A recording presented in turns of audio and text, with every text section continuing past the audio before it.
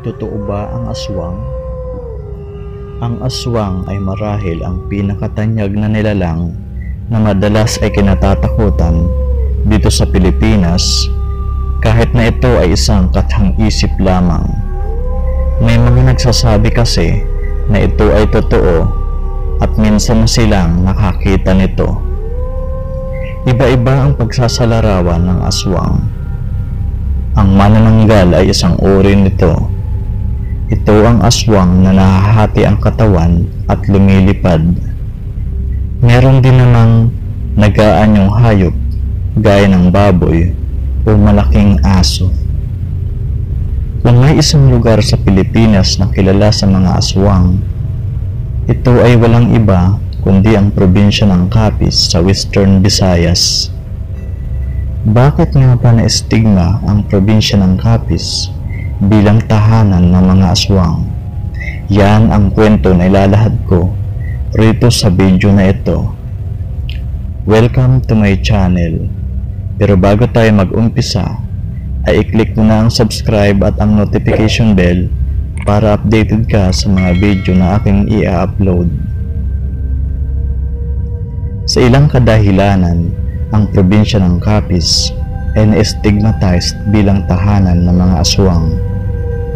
Kung ang isang residente ng Capiz ay nasa ibang lugar ng Pilipinas, hindi bihira para sa mga tao na magbiro na sila ay may lahing aswang. Kung kaya't may ilan na taga-Capiz sa Maynila, ang sinesikreto na lang kung taga saan sila upang hindi mabansagan. Lalo na yung mga nagninegosyo ng pagkain o karinderya. Paano nga ba nag-umpisa ang stigma na ito sa Capiz? Isa sa pinakasikat na kwento tungkol sa mga aswang ay ang kwento ng pamilya ni Teniente Gimo ng Iloilo.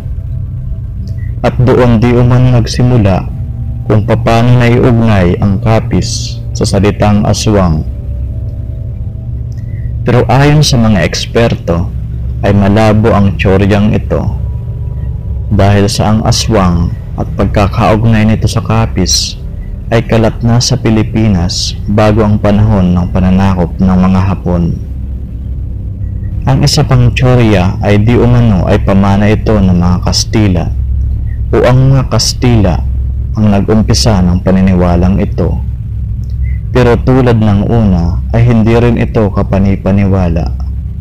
Ang mga Kastila kasi ay hindi naniniwala sa mga ganitong kaisipan. Alam naman ng lahat na ang mga Kastila ay nagpapalaganap ng Kristyanismo noong panahon na iyon at hindi kapanipaniwala na sila ay ang pagmumulan ng mga bagay o paniniwala na labag sa kanilang Diyos o Kristyanismo. Ang pangatlong tsorya ay ang pedikal na aspeto at para sa akin ay mas kapanipaniwala. Ayon sa pananaliksik ng mga eksperto, ay may kakaibang sakit ang matatagpuan sa Panay Island. Ito ay tinatawag na dystonia ng Panay. Ito ay isang uri ng sakit kung saan ay apektado ang X chromosome ng isang tao. Kilala rin ito sa tawag na X-linked dystonia Parkinsonism o XDP. Ang sakit na ito ay mahigit isang libong taon na ang tanda at makikita ang karamihan sa Panay Island. Noong 2015, 93% sa mga ito ay nasa Panay Island at 63% nito ay nasa probinsya ng Capiz.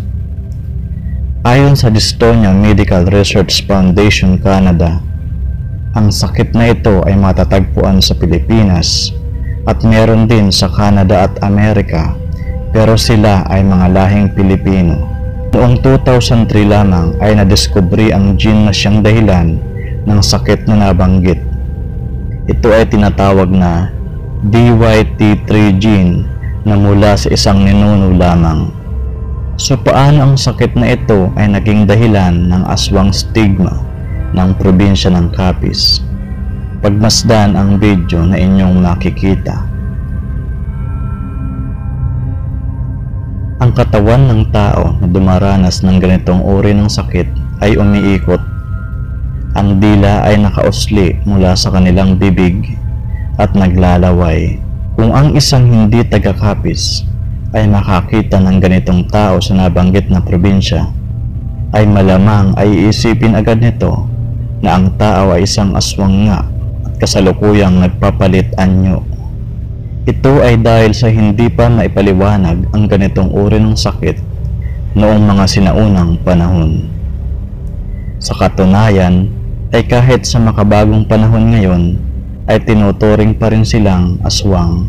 Sa kasamaang palad, pinipilit nito ang mga pamilya na itago ang sakit sa halip na maghanap ng mabisang paggamot. Walang aswang sa kapis. Gayunpaman, may mga tao doon na naghihirap mula sa bihirang sakit na ito. Kailangan nila ng suporta, habag at pag-unawa mula sa mga komunidad. Hindi totoo ang aswang. Hindi totoo ang stigma na ang kapis ay tahanan ng mga aswang. Ang sakit na dystonia o panay dystonia ay hindi nakakahawa.